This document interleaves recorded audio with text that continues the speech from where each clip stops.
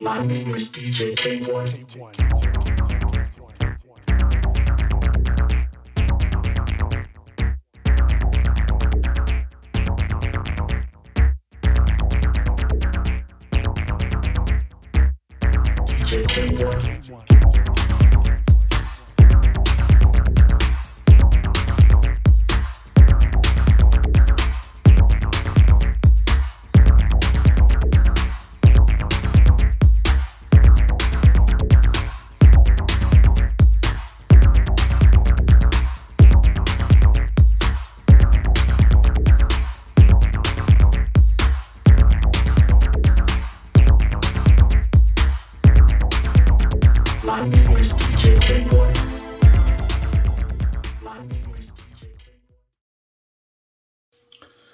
Up, everybody? Welcome to episode 84 of the K1 Agenda.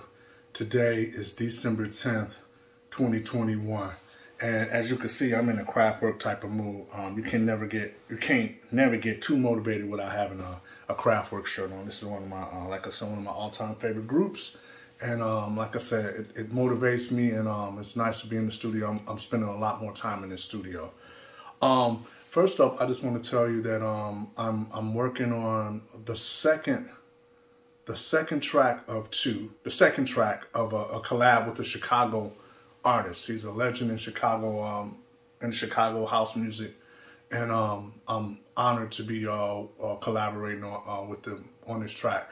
Um, I'm not gonna announce it just yet, but uh, I, I will eventually. I just have to finish up the second track, which um, is loading up today um, to add my parts to it. Also, I'm also um, working part time on the um, the new Fragments. It's called Fragments EP, which um, is an optic nerve project, but also um, just an optic nerve project uh, of experimentation, um, just using uh, the synths and everything, and just um, you know working on something without a deadline. You know, uh, like I've stated before in the past, I don't have to really work on any new music because I have plenty that's already done. And um, this is just a chance of just doing some experimentations to uh, work on changing, uh, just um, doing something a little bit different. So this EP will be called Fragments, and it's a reason for the name of Fragments. Um, I'll clue you in on that more as I'm uh, working on it. Um, maybe by, I would say, two weeks, maybe just before Christmas, um, I, um, I'll let you, I'll preview some of the music on on um, the K1 Agenda. Let you hear what I'm working on in the studio.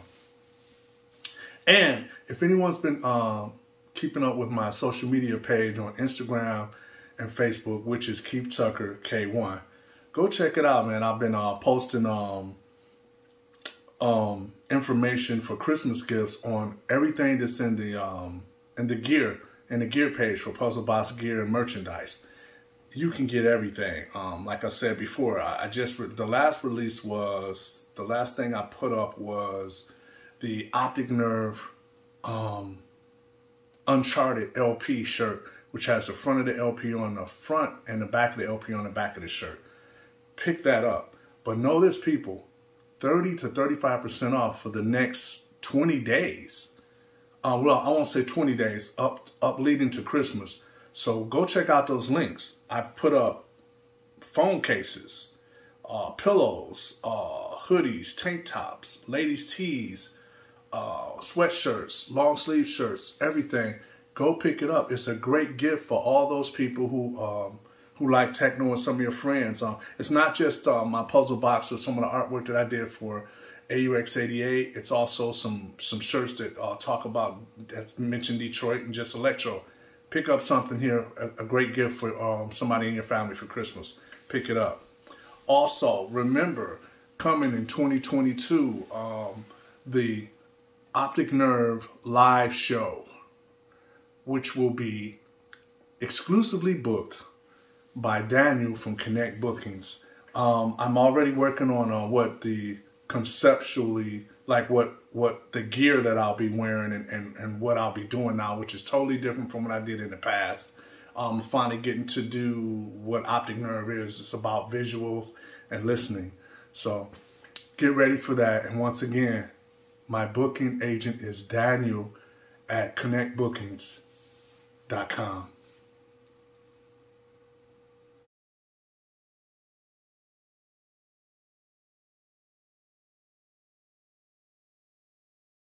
Puzzle Box Records news. I want to put you guys up on all the latest new Puzzle Box releases. Well, I won't say Puzzle Box releases, but more or less all the releases for my um, various aliases that I go by. First up, the latest and greatest that just was released about a week and a half ago is the reimagining of Face Your Fate with Jackmaster from Glasgow, Scotland. It's a collaboration with Jackmaster, Black Tony, and myself, which features the great vocals of Black Tony. Pick it up out right now, and that EP is called Face Your Fate. Pick that up.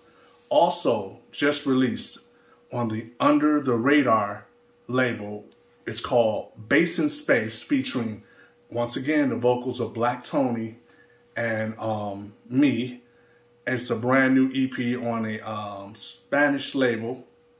Pick it up, just released. And once again, that's called Bass in Space. Pick up that A-side track. It's really fast electro for all the jitters and all the people that like the vintage electro music. Um, also pick up the co collaboration with me and Slam from Soma Records. The track is called Machine Conflict.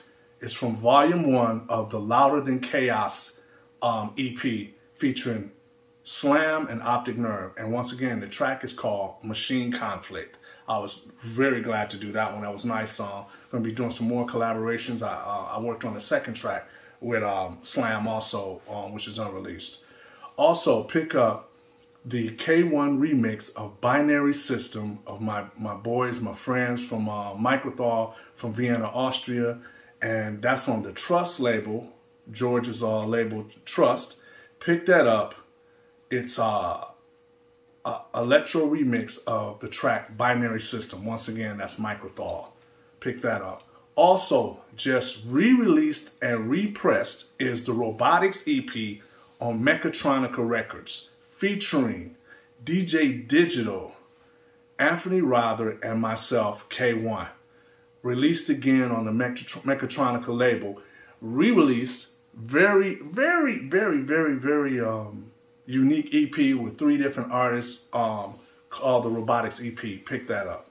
Also, remember uh, my um, endeavor with um, Soma Records. They put out the first uh, Optic Nerve EP of many to come on Soma. It's called Far Away, featuring the great artwork of Kyle Irvine, who will be doing all my graphics for all my visuals that's coming up for shows. Thank you, Kyle Irvine. Thank you, Soma Records. Also, pick up the Uncharted LP on Jeff Mills' label, Axis, on the Escape Velocity series.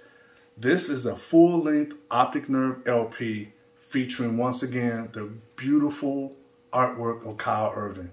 Pick it up. That was released in March. Pick it up. It's the full length LP. Now, I want to speak on all the Puzzle Box Records stock, which um, I'm going to put the distribution here. You can get in touch with distribution, um, my Puzzle Box distribution, for um, getting all these records wholesale. Um, in stock, PBX 32, Stargazing, featuring K1 and Dopplereffekt. And once again, that's on limited vinyl, limited color vinyl. Uh, it's gold, uh, gold vinyl. So pick that up. Also, pick up the original, the original PBX3 Face Your Fate featuring Black Tony on vocals and me doing all the um the music. Pick that up. PBX 8.5 also is another collaboration with Black Tony and myself. This is called the Electropathics EP, and that's PBX 8.4. Also, don't forget to pick up one of my earliest um, artworks and uh, electros um, releases, the fourth release on Puzzle Box labels in the 90s. It's called the Automaton EP, and that is PBX4. Pick it up now. Um, check out the artwork. Um, also, pick up PBX29. Uh, my um, my fray back into the electro world uh, after leaving um, AUX88. This is my brand of electro um, that I tried to change up and make a little bit more minimal. Here's PBX 29, and that's the Modular World EP featuring the track Modular World and Schematics. Also, pick up PBX 30, which is the monochromatic images. This is the third EP for Alien FM. PBX 30, once again, a collaboration. Alien FM is myself and Black Tony. It always has been. PBX 31, Mad Scientist EP. AUX88 presents Mad Scientist. This is um, me and Tommy's foray into just using so much gear to create this electronic album. It was really fun doing this album because we toured as a Mad scientist and uh, we had a whole, um, the visuals. This was the first time that I had um, did all the visuals and the whole um, the whole concept for the whole album was created by me. And um, this was a lot of fun. Um, Tom put a lot of work into his releases, uh, his music as well as mine that was on the album. Uh, pick this up, Voice Modulation, PBX 31. Last but not least, the latest and greatest EP on Puzzle Box Records is PBX 33, Strand meets Optic Nerve. Pick it up now. That Strand meets Optic Nerve. And on that note, I also want to brag on the group Strand. Pick up their new EP, Resilience. Um, awesome EP. Check out this artwork. It's out now. Pick it up. Go to the Strand um, social media, Facebook, and get information on uh, how you can get that record. This is Strand. Love these guys. They make great music. All right, for all those distributors, remember, here's the email. Hit up distribution at puzzleboxrecords.com for all wholesale orders. And for 2022, we will be putting out a lot more releases um, for the year. Everybody knows um, with the pressing plants right now, it's really slow. They're really behind, so it takes a long time to get records pressed. But I'm, I'm um, on a mission to re-release a lot, not the whole catalog of Puzzle Box, but almost the whole catalog. I'm going to re-release a lot of stuff that I put out and uh, other music that I put out on other labels, as well as some stuff that I did originally on Direct Beat. So thank you.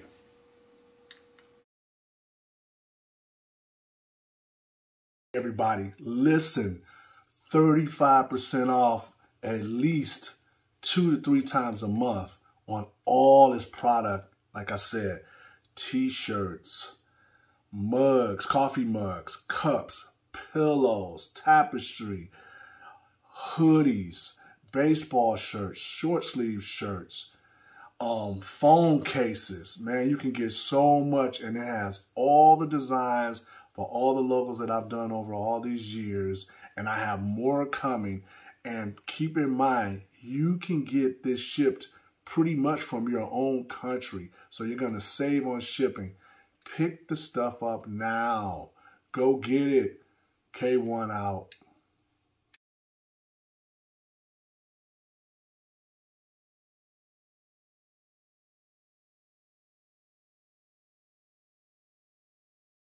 Question of the week. Um, once again, if you have any questions for me, uh, you can always hit up Puzzlebox at puzzleboxrecords.com for any questions you may have, whether you think I would be offended, positive, negative, whatever. Um, send your emails there and I'll be happy to answer all, um, all the questions. And this week's question is, um, why do you have so many aliases? Uh, Optic Nerve, Alien FM, K1, and recently Fusion and CKFT.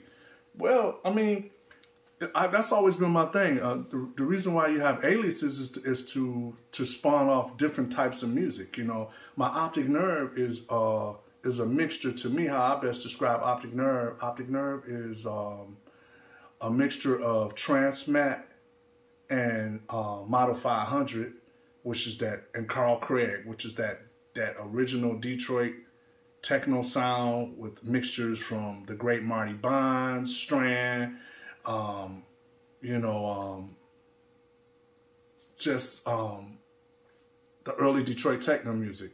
Um, Claude Young, that's what I want to say. I, uh, I model a lot of that stuff. I, I love Claude Young's string work and stuff. So Optic Nerve is a lot like that. Alien FM.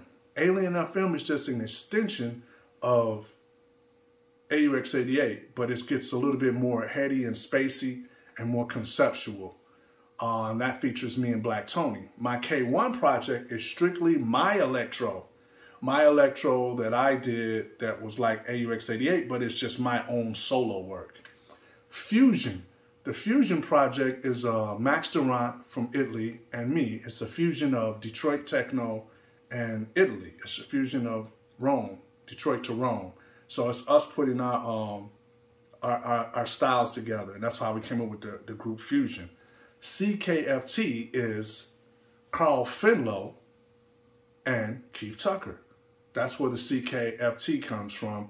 Um, uh, we will be um, collaborating again. We have some stuff that we're uh, in, the, in the midst of uh, discussing right now, but that's really great because I really respect uh, a lot of his music and a lot of his stuff, man. He, he works really quick, man. He makes great music. Carl Finlow makes uh, extraordinary electro music, and uh, I'm glad that we, uh, you know, we collaborated and we created this group, CKFT. But I hope that answers your question, man. It's just a chance to, uh, you know, to grow, man, to to to make your music better. And that's why I've always had different aliases um, that I could put out, which I did different styles of music, which which kept me growing and doing stuff on all types of labels and traveling and, and, and just putting out tons of music. So my catalog is amazing. I have a big, large, large catalog.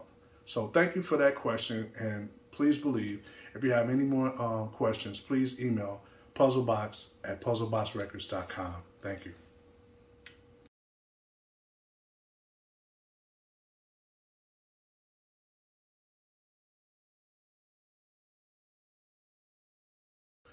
Old pick and video. This week, um, I want to show you some uh, vintage pics uh, of Christmas, um, me as a kid and my brother as a kid. Check these pictures out.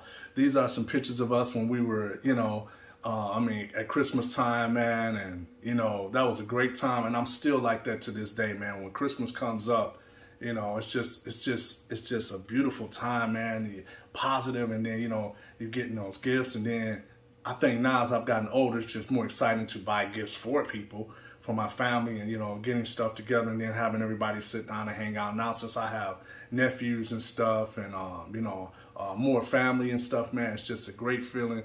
I always love Christmas, and these are some of my um, like my fondest and um, fondest thoughts, man, and remembrances of uh, when I was growing up with my uh, my brother and stuff. We had a lot of fun, and my mother and them always made us have a beautiful Christmas. Um, also, I want to um, I want to show a, a, vintage pic from the Portrait of Electronic Band documentary. Um, once again, that featured um, the story of how AUX88 came to be and all our um, you know um, struggle and uh, what went on when we first created the group, from when we started, and then just artists from all over the world speaking on it.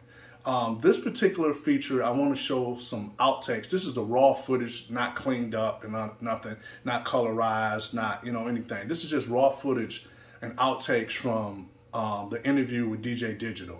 DJ Di'jital uh, replaced me the very first time that I quit AUX88 in 1995.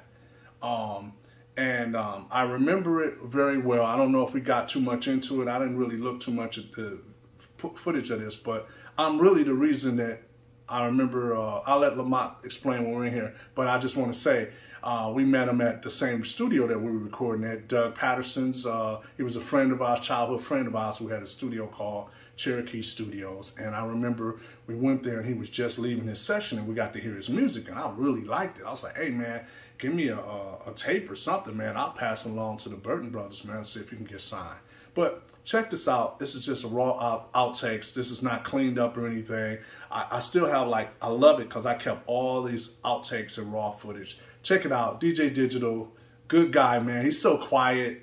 Um, he's a good guy, man. It's always nice every once in a while to talk to Di'jital because we're on the phone for hours. And, you know, I try to give him any kind of help or anything that he needs as far as asking me questions or anything but I might not hear hear from him for years. But here's DJ Di'jital and uh, the outtakes uh, from him.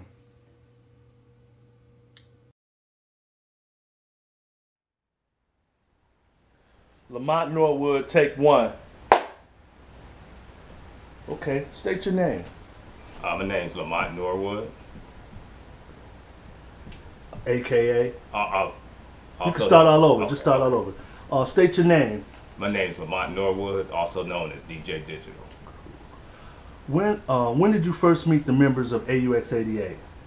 The first time I, I met one of the members of AUX 88 was back in 1992 at Cherokee Studios. I had, over the phone, I had, I was able to talk to Keith Tucker about his upcoming project that he was recording with uh, Douglas Patterson at, at Cherokee Studios in Detroit. Um, when or how did you first hear about AUX88? I first had a AUX 88 cassette of uh, Bass Magnetic. I think it was like '94 or something when the, when when it was released, and uh, everybody was talking about it. They was playing it in their cars back then. They had lowrider trucks and stuff, and I was I was able to buy a copy of it. I think it was Chantonique's Music or one of those uh, local stores in Detroit. Okay. Um, what was um?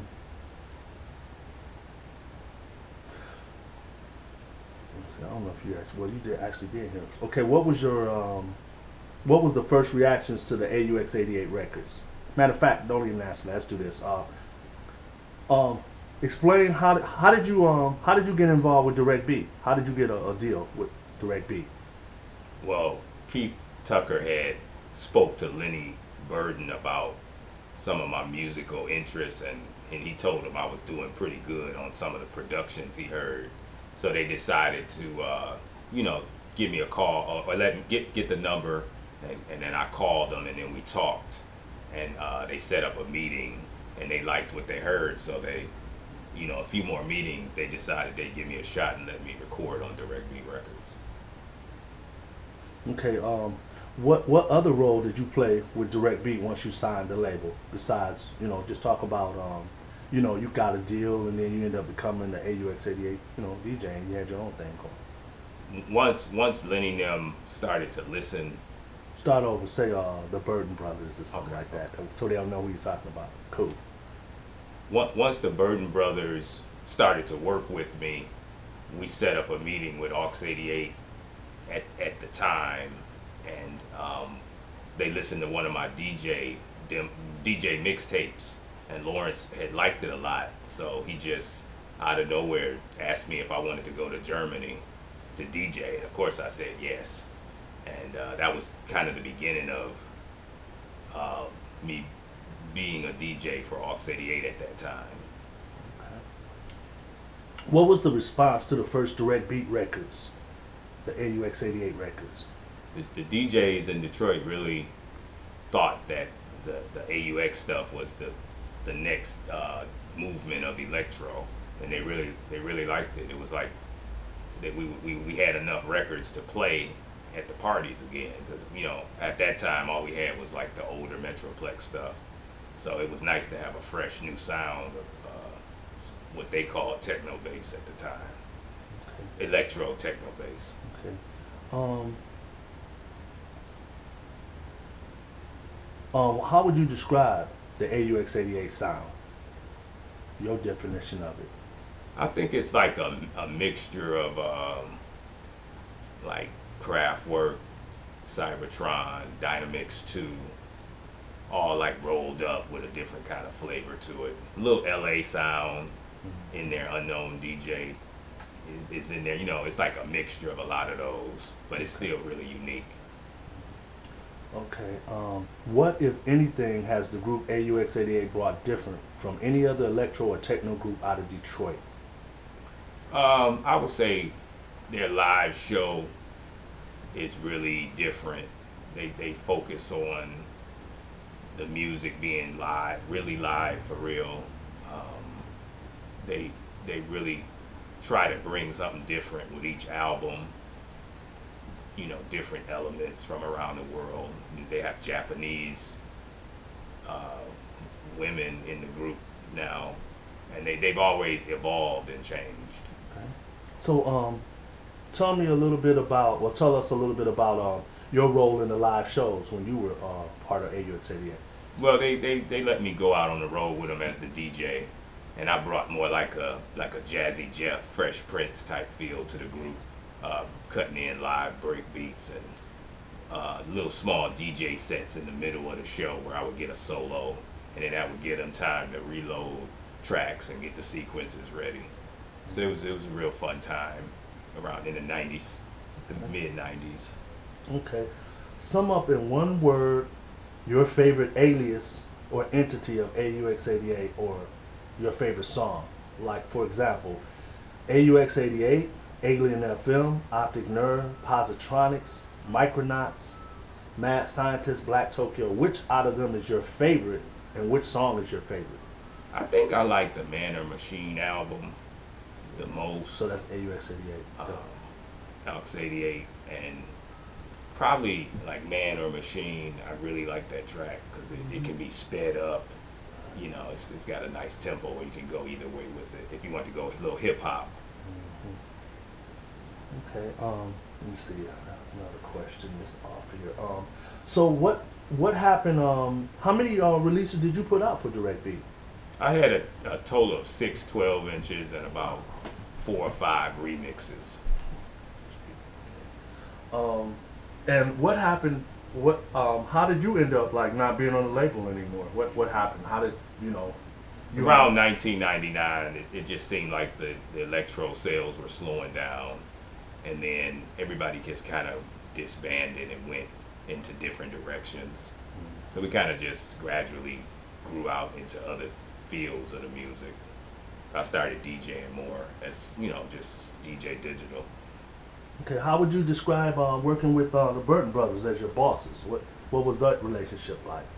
They were real. They were real honest and friendly guys. They, uh, we would get our statements and stuff, and you know, we were, for me at least, it was my first go at the music business. So, anything that I earned, I was real grateful for it. Okay. How was your relationship uh, working with Tom? Because you worked with him the longest out of anybody at AUX88. He's real. He relationship was a real Tom? good guy. He he, he he let me see the world through Aux 88, and he um he was a real cool guy. I mean, he was he was easy to work with. Um, he just really wanted people to always be on time for rehearsals. That was the main thing, and that you know that's a good a good habit to learn. You know? Did you uh, Did you guys have fun out on the road? You know, was it a close knit type thing with? Yeah, we had we had a lot of fun out on some tours. We did the Marlboro tour in '96, and his wife Marnita managed us, and she kept us kept us on point. You know, no drinking, and you know, real good rule, mother type rules. You know, kept us on point on tours. Okay, so um, is there anything else you want to add or any other comments? Um, Well, I, you know, I just, you know, look forward to what we can, as uh, producers, bring, you know, to the to the electro movement these days, um, and hope that look forward to hearing some new Aux 88 stuff and, you know, producing some more of my own individual tracks and stuff. cool. Okay.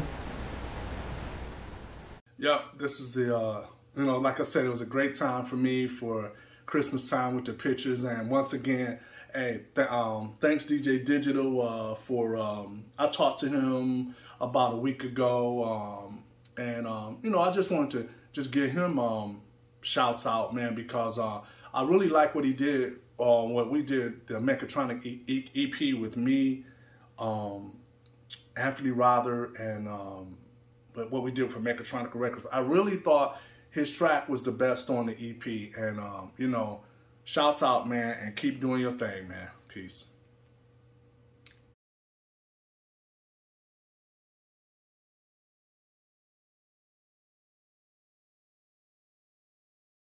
Shout outs this week. Once again, everybody. Look, I'm looking for my brother. His name is Mark Antonio Tucker. Once again, Mark Antonio Tucker. If you have any um, info or whereabouts of his location or where he's at, please email puzzlebox at puzzleboxrecords.com. Um, he, he's uh, he's a bit of a loner, man. Everybody's been asking about him. It's been it's been about ten years since I saw my brother, and uh, got to bring him back into the fray. Um, I'm hoping to get more information, so people please reach out once again at puzzlebox at puzzle puzzlebox at puzzleboxrecords.com and uh, help me find my brother. Uh, he would be my brother would be 57 this year. Okay, also I want to give a special shout out. I got a chance to spend some time, like almost like a uh, almost two days with uh, um, um, three of my favorite people, man. Uh, my cousins, my cousin, uh, man, they, I love them. They, they're great people. My cousin Nickel, as we call her, her name is Nicole, but we always call her Nickel. And my cousin Lynette, we used to call her Lenny, but her name is Lynette. And also my cousin Robbie. They're all, um, they, these are uh, siblings. They're uh, brother and sister. And also send a special shout out to uh, my cousin Renee. She didn't make that trip, but uh, I got a chance. They, they came and um, stayed the night and stuff. Man, we was up till 4.30 in the morning talking, just chatting about when we were kids and just learning stuff about each other, man. And here's a picture. Once again, shouts out to my cousin Nicole, Lynette, and cousin Robbie. Love you guys. Also, I want to give a special shout out this week to my wife, Belinda Tucker. Here's a picture of my wife just before, um, like a week before her surgery. She just had rotator cuff surgery on her on her shoulder, man, and it's a very serious uh, surgery. She's had to sit in an electric in a chair for moving her arm up and stuff for 12 hours a day for three weeks, man. She's been a trooper, and I'm going to be a trooper and make sure I'm there for her. And I just want to say, hang on in there, babe. You, you done done really good. Love you. And once again, shouts out to my mother and father who's always been there for me. Love you guys. Shouts out. We'll be calling you today. And on that note, I know what I've done and I know what I will be doing. See you on the next K1 Agenda. That will be episode 85. Once again, people, wear your mask. This stuff is not over. Thank you. Hey, I just want to say, everyone, please hit that subscribe button for YouTube and please subscribe to my page. Um, I really have enjoyed all the support I've been getting, but hey, like this and subscribe to this page. Keith Tucker K1. Hit the subscribe button. Thank you.